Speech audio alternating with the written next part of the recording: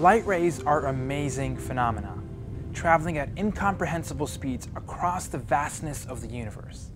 They have properties of both waves and particles. Scientists have debated light's essential nature for centuries. The end result is that we have a dual theory of light. You may think you need a superpower to slow or bend a ray of light, but there are things all around you that change the way light behaves and also change what you see. We're going to talk about refraction, the bending of light, in this segment of Physics in Motion. Experts have used what we know about refraction to make lenses and telescopes that can enable us to see things from the infinitesimal to the infinite. But let's bring it back down to Earth. We've all seen this, right? That's refraction, the bending of light as it moves from one transparent medium to another, from air to water in this case. Other kinds of waves, like sound waves, can also refract, but we're going to focus on light today. Now, what causes refraction? Basically, it's because the speed of light changes depending upon the medium that it's traveling through. The angle of light rays can also change as they move from one medium to another. How much it changes depends on the refraction index, a ratio that describes how much light bends as it moves from one medium to another which depends upon the density of the medium. To get an idea of refraction indices, here are a few examples. A vacuum is 1. Air is 1.0003. Water is 1.330. Salt is 1.520. Diamond is 2.420 and lead is 2.6. The higher the index of refraction, the more the material tends to bend light. To calculate the index of refraction, divide the speed of light in a vacuum by the speed of light in a medium. The formula looks like this. n, the index of refraction, equals the speed of light in a vacuum, c, divided by the speed of light in a medium, v. Let's take our water and ruler example. The light is traveling at its usual speed through the air, a little less than 300 million meters per second. But when the light hits the water and makes the ruler look like it's in a different place, what exactly is happening? Let's analyze it.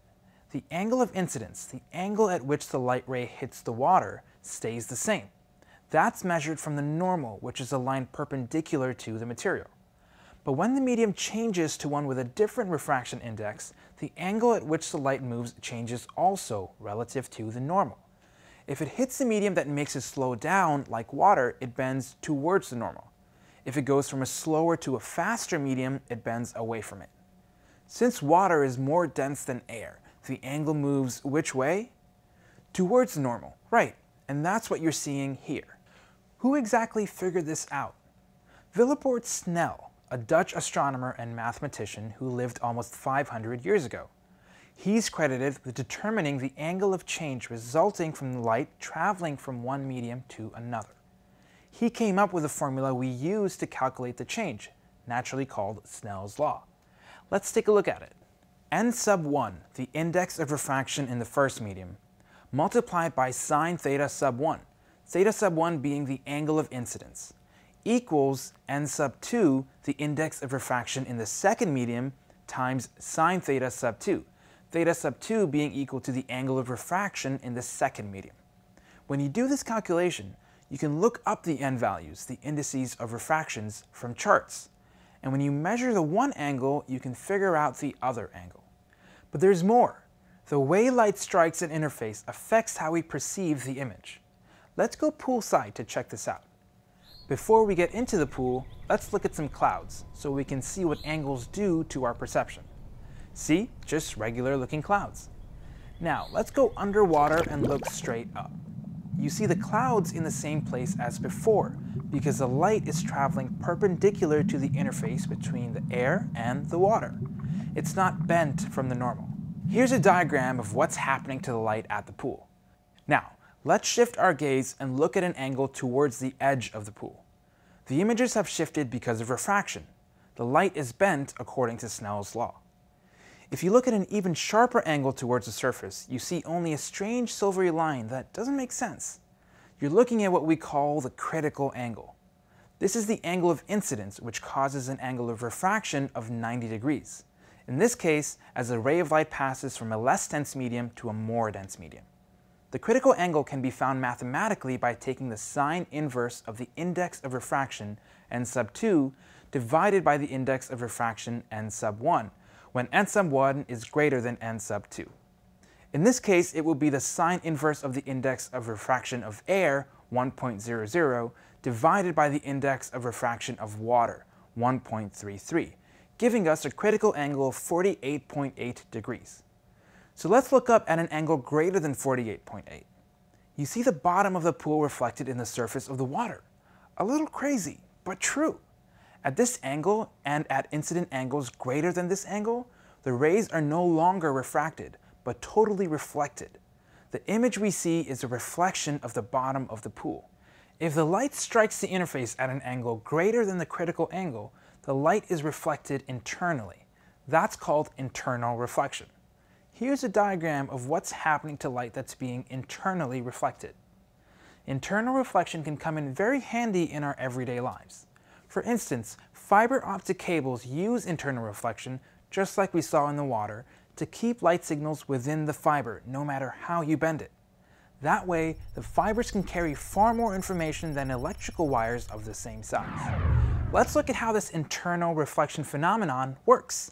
I have here a laser and a bottle filled with water, which has a hole in it. Now I've covered up the hole, but if I uncover it, the water flows out. Of course. Let me cover it back up for a second. What do you think will happen if I uncover it and then shine a laser through the hole? Let's try that. It looks like the stream of water holds the laser light in. This is total internal reflection in action the laser beam is hitting the water-air boundary at an angle greater than the critical angle, causing the light to reflect back into the stream.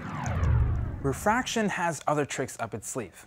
Okay, not tricks, it's all science, but it's still pretty amazing.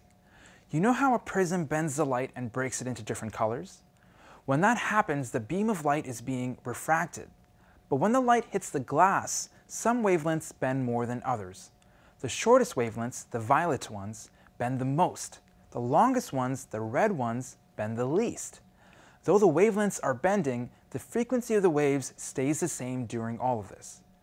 In other words, as the speed of light is reduced when it hits a slower medium, the wavelength is shortened proportional to the change.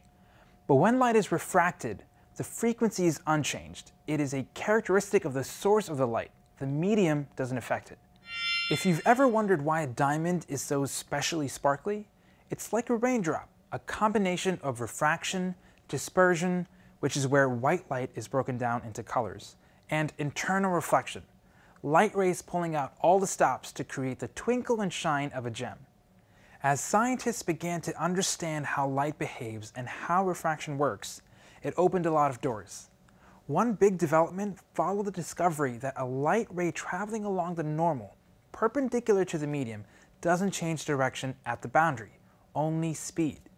That led to two momentous inventions, lenses and refracting telescopes, that allow us to see things too tiny for the naked eye or light years away.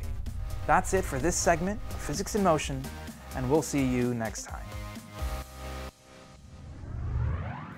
For more practice problems, lab activities, and note-taking guides, check out the Physics in Motion Toolkit.